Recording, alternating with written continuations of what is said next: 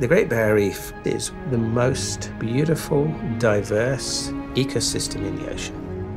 And if we can't protect something as important as that as a society, we've got to look at ourselves and think, what are we doing wrong here?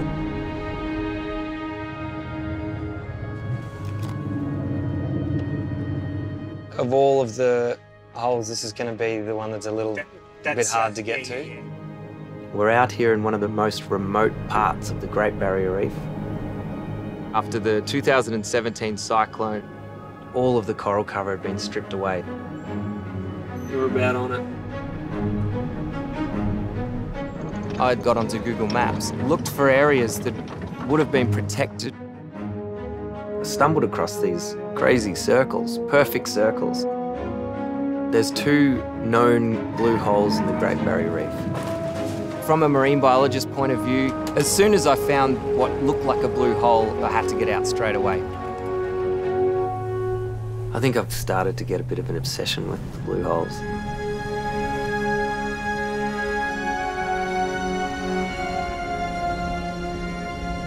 You kind of think, is that actually out there?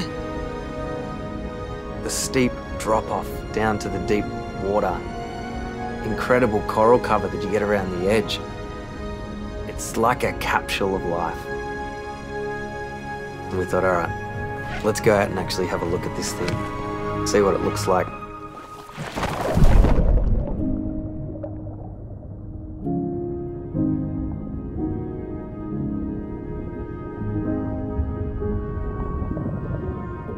We know that parts of the Great Barrier Reef are incredibly resilient.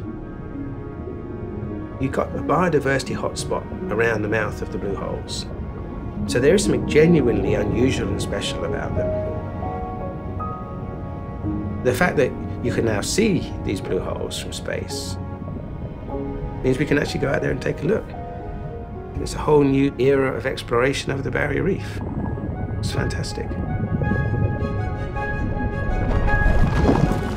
I love that when you come out here, you really feel lost.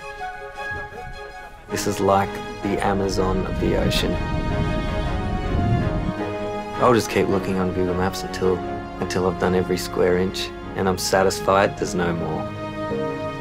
I think if everyone got a chance to jump inside a blue hole, I think it'd inspire anyone to want to protect the ocean.